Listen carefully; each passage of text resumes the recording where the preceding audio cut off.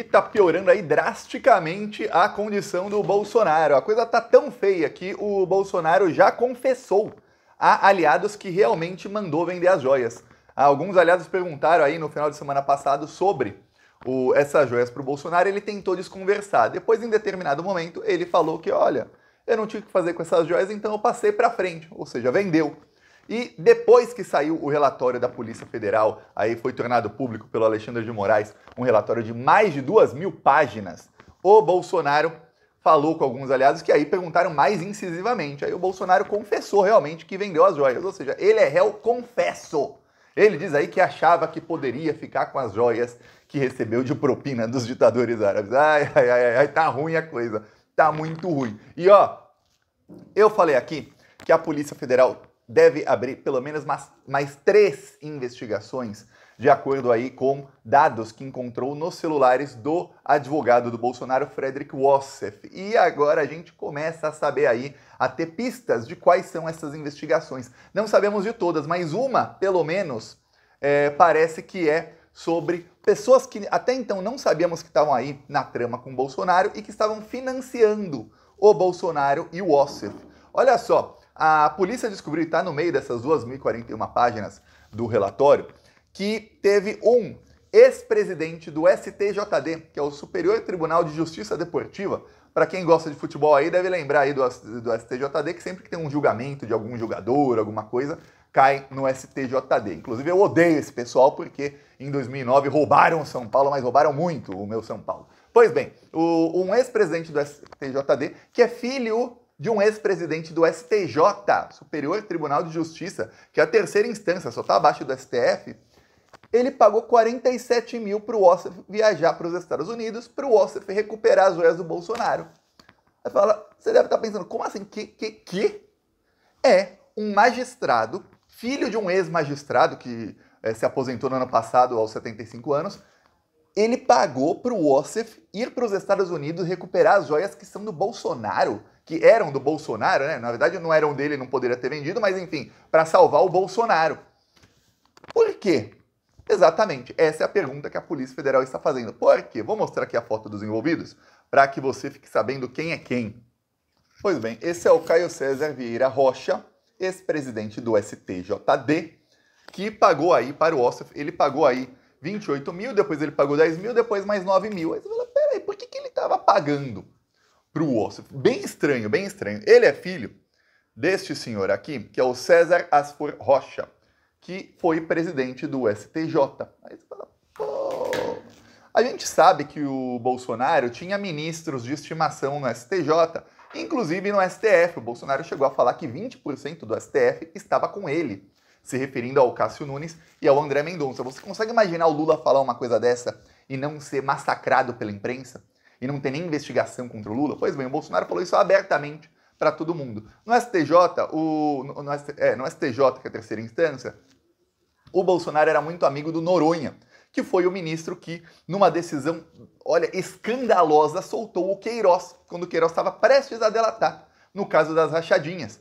Ele soltou o Queiroz na época da pandemia, alegando que o, que o Queiroz é, tava, chegou a ter câncer um, um, tempo antes e que por isso ele era grupo de risco não poderia ficar preso. E aí a esposa do Queiroz que estava foragida, ele também mandou tirar o mandado de prisão com ela, dela porque ela deveria cuidar do marido, como se o Queiroz não tivesse familiares. É, é, esse, esse é o nível aí dos bolsonaristas. Rasgam a lei para proteger os crimes uns dos outros.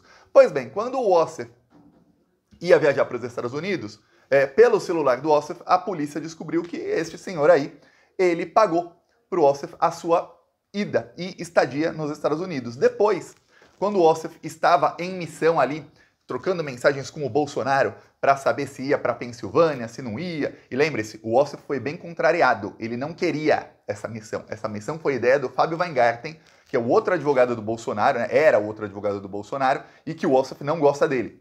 Então ele foi bem contrariado. Em determinado momento, o Ossef manda uma mensagem para ele pedindo 10 mil reais em Pix. Você falou, oh, me manda um Pix de 10 mil, devolvo depois. E aí ele fez um Pix de 10 mil para a namorada do Frederick Ossef. O Ossef devia estar, tá com, devia estar tá com o cartão dela.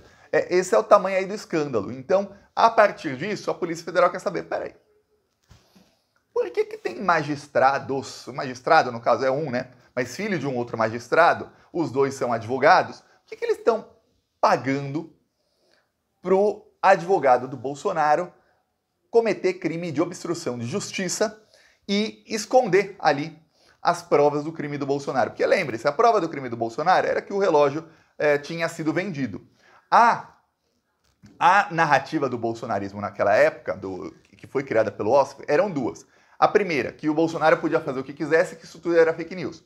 E aí o Ossoff, ainda que sabe que pode manipular o gado bolsonarista, e, falou para o Bolsonaro: olha, tem que ser essa nota, porque as pessoas não têm tempo de ficar lendo detalhes aí da notícia, e aí eles, ninguém vai entender direito, a gente só solta uma nota bem simples dizendo que é fake news e acabou. Ou seja, dá qualquer cocô para os bolsonaristas comerem que eles engolem e se falar que é chocolate, eles falam, hum, manda mais que tá bom. É isso. É, trata eles como os otários que são. Então você vê que a própria advogada do Bolsonaro e o Bolsonaro sabem que os bolsonaristas são otários e fazem eles de trouxa. Aí o, a outra narrativa é que não, ele não vendeu as joias, as joias estão todas na fazenda do Nelson Piquet. A Polícia Federal já constatou que isso era mentira. O Bolsonaro foi recuperar as, foi recuperar as joias, mandou o Ossef. Aí o Ossef, no meio disso aí, pediu 10 mil para esse advogado. Agora, veremos aí o que, que vai acontecer. A polícia vai abrir inquérito. Lembre-se, isso são só três mensagens de tudo que tinha no celular do Ossaf. Imagina aí o que, que mais que vem à tona. Eu duvido que vai ser um inquérito só para essas três mensagenzinhas. Tem muito mais. Isso aí já foi tornado público nesse mega relatório aí que estava contando como é que foi a trama. Pois bem, mais do que isso, a Polícia Federal também descobriu, e aí não tem a ver com o caso das joias, tá? Isso não tem nada a ver com o caso das joias. A Polícia Federal descobriu que um empresário, que é o empresário da AgriShow, que é um evento do agro que o Bolsonaro foi no ano passado e que eles desconvidaram o ministro da Agricultura do Lula, que é o Carlos Fávaro. Pois bem, a AgriShow tem ali o um empresário, vou mostrar aqui a foto dele. Este é o Samuel Solito, que é o organizador da AgriShow. Segundo aí mensagens do Tenente Coronel Cid, que também aí estão no relatório, mas o caso não tem a ver com as joias, quando o Bolsonaro era presidente, ainda em 2022, o Bolsonaro era presidente, na viagem em que o Bolsonaro fez para levar as joias no avião presidencial para os Estados Unidos, esse empresário se encontrou com o Bolsonaro e o tenente coronel Cid é, disse ali e organizou que ele fosse entregar um pacote com dinheiro vivo para o Bolsonaro. O Bolsonaro recebeu dinheiro vivo desse empresário. Em mensagens aí do Cid para o Marcelo Câmara, que era o outro assessor do Bolsonaro, ele diz: Samuel entregou o dinheiro, cartão do Junqueira, ao que o Câmara respondeu: sim, entregou.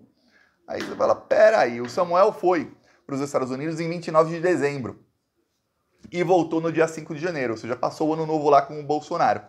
O Bolsonaro se hospedou na casa do pai dele, que também é empresário e também é advogado.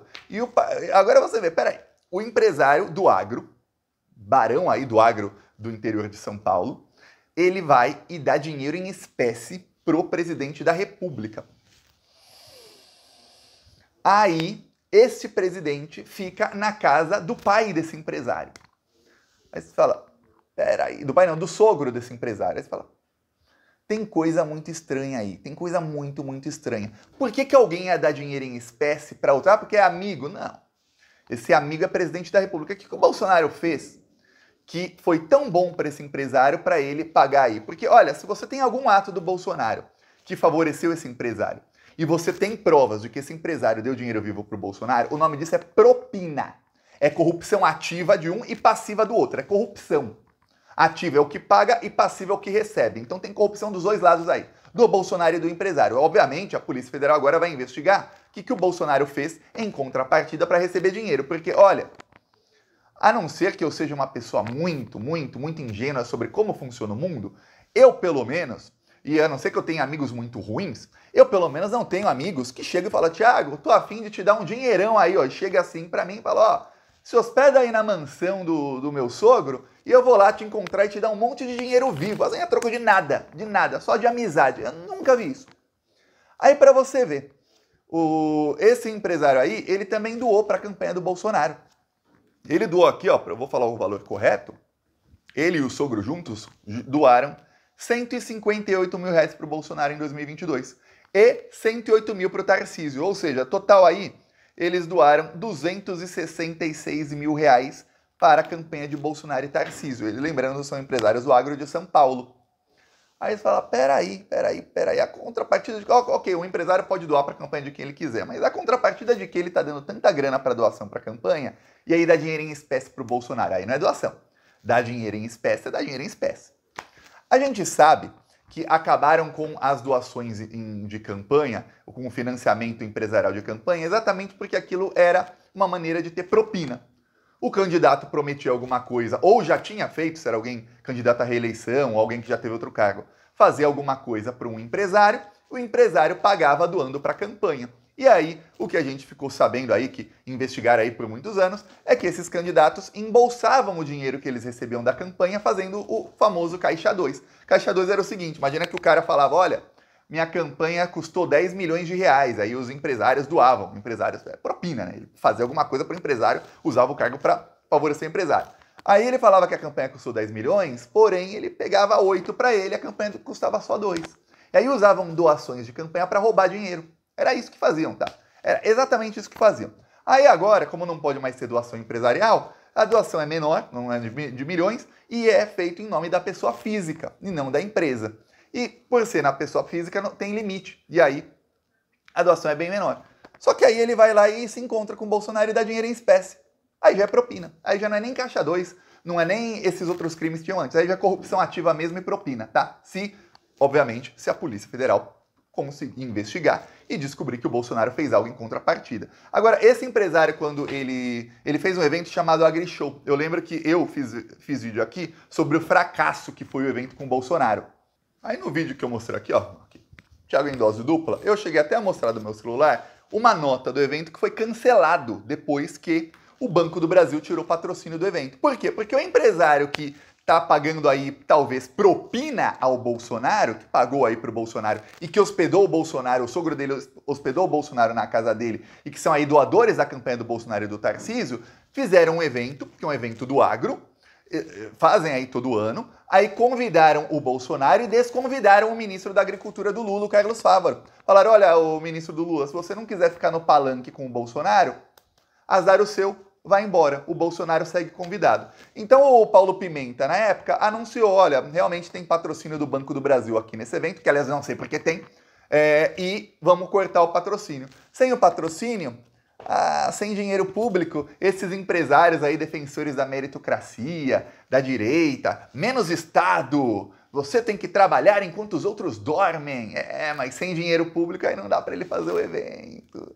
Aí ele cancelou o evento, ficou com cara de bunda o empresário. Eu fico pasmo que, que o Banco do Brasil eh, eh, manda aí milhões de patrocínio para evento que é organizado por gente que deu para a campanha do Bolsonaro. Porque para mim é uma conta muito simples. Se você patrocina o evento do cara que financiou a campanha do Bolsonaro, você está financiando a campanha do Bolsonaro. Fim. Por quê? Porque, olha, se o evento custa, vamos por um milhão para fazer, esse cara tem que tirar um milhão do bolso dele, tem um milhão a menos na conta dele.